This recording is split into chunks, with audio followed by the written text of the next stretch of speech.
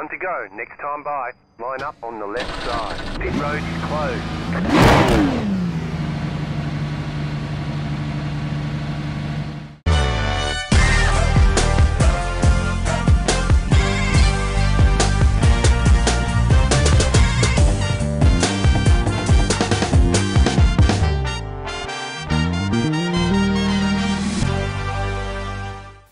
はい、メイくんです。14900KSVS7950X3D 第3弾シムレースゲームで比較します。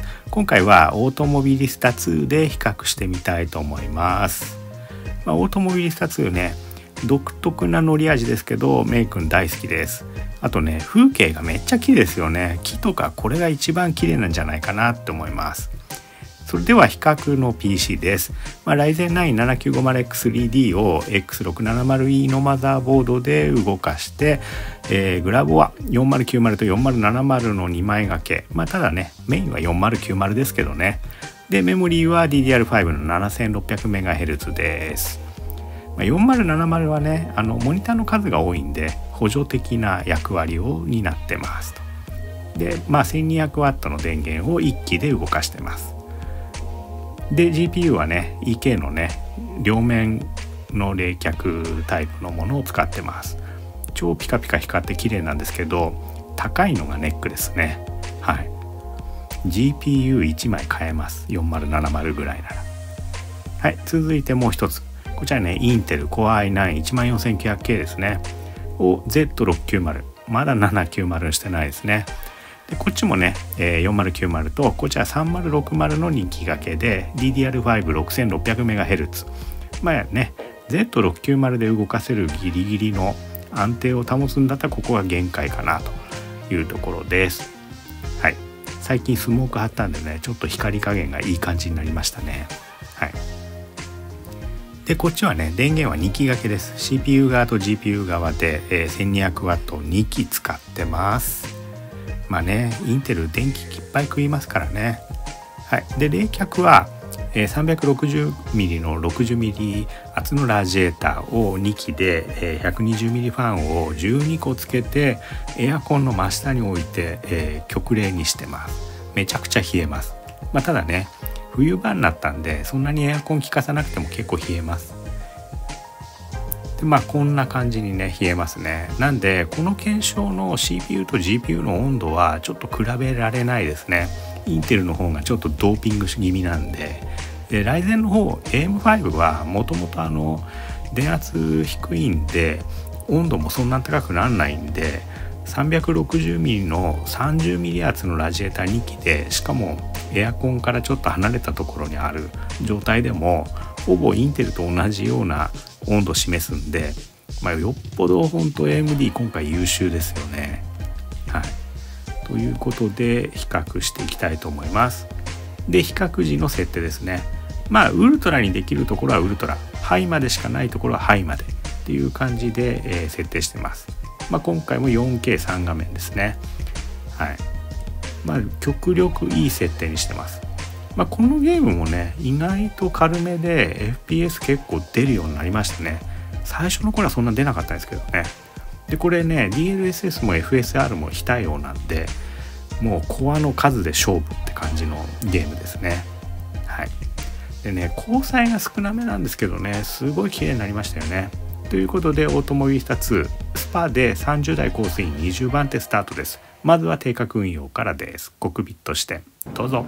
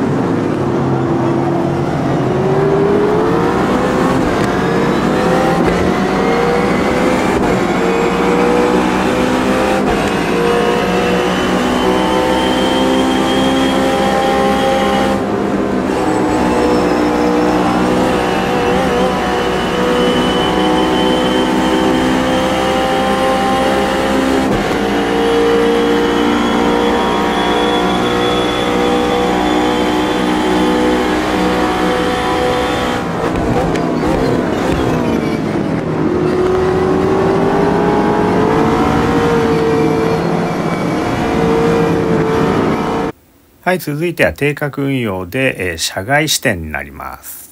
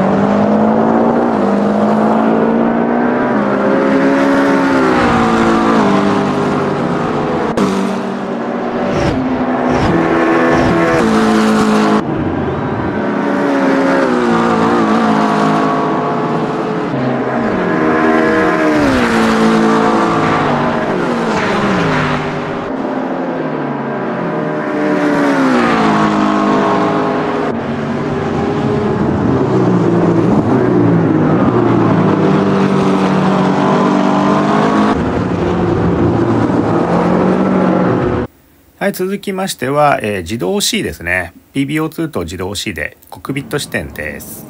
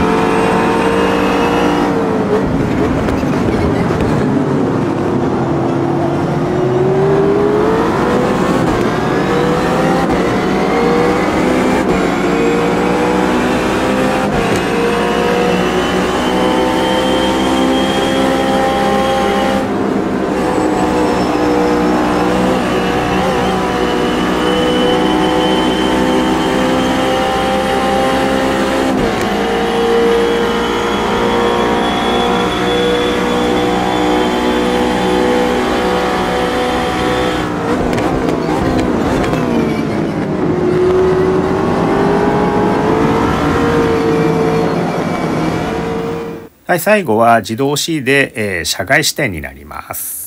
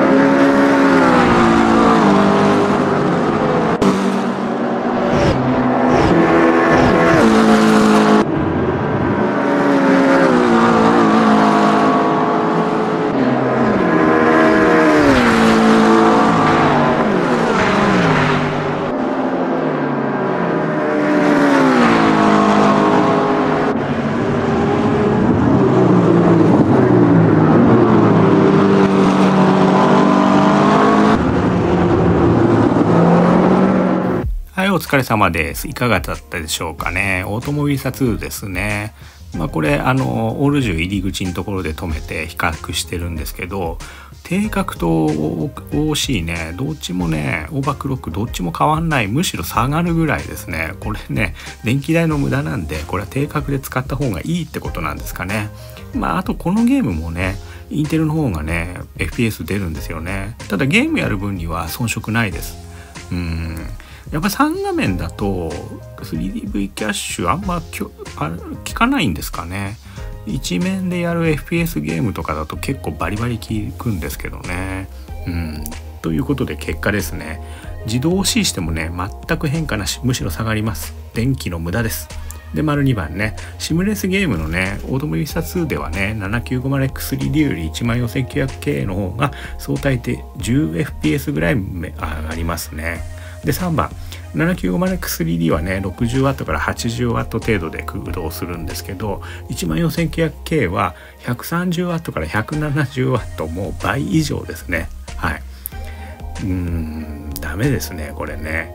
で4番ね。これもね OBS 録画を並行にして行ったんですけど並行させなくても同じ差なんでやっぱりちょっと 3DV キャッシュはシムレースゲームで3画面でやるとあんまり効果出ないんですかね。うん。一面でやったらもしかしたら結果が違うのかもしれないですけど、まあ、これからやられる方ね参考にしてみてください。ただねインテル10出たってゲームあんま変わんないですからね。ただ電気代考えたらねっていう感じですね。で5番ですね。このゲームね DLSS も FSR も対応してないゲームなんでなんですけど比較的 FPS は高く出るゲームですね。うん。なかなかいいです。でねサーキットの風景とか特に綺麗ですね。で車両がねもう少しね交際感が出ればね、まあ、最高ですね。あとね室内のコクピットがちょっとねもうちょっとリアルだったら最高ですけどね。もう木なんか最高ですね。ただね乗り味がね独特なんでアイレーシングとかセットクロスコンペティオネやってる人はうーんっていう感じです。ただゲームだと思えばもう最高のねバトルができますね。これね大好きです。で7番。えー、ここまでね ACCIR アイレーシングね AM2 やってきましたけど 3DV キャッシュの効果ってシムレースゲームにあんまりないんですかね。まあ、7800X3D で本当やってみたいですけどね。誰かやってみてください。で8番まあ、7950X3D でね FPS 若干低く出ますけどゲームでは遜色ないんで温度と電力を考えたら点々点ですね。まあ、皆さんの選択にお任せします。ということで今回はここまで次回はね R ファクター2かうんレースルームかどっちかやっていきたいと思います。じゃあねバイバーイ。